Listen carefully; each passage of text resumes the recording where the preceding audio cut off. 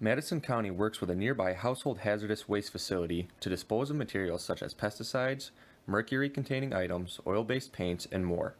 The products are collected here as they can cause fires, react with other materials, or are too toxic to put in the landfill. Madison County residents can do their part to dispose of these items correctly and protect the environment by visiting our website and filling out our HHW reservation form to set up a drop off appointment. Appointments are required and should allow for a minimum of two to three business days for us to process your request.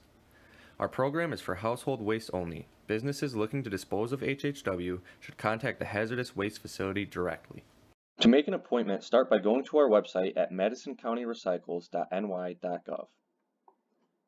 Once here, go to the Household Hazardous Waste tab.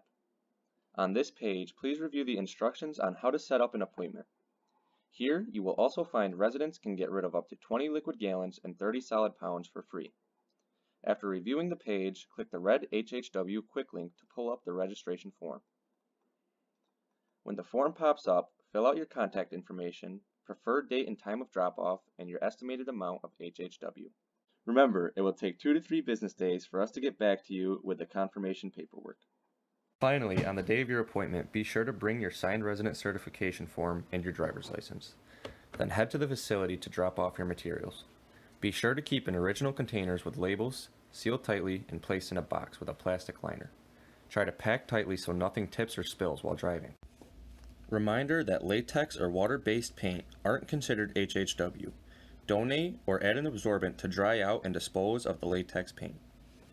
If you have any questions, please call our solid waste main office, which is open Monday through Friday from 8 a.m. to 4 p.m.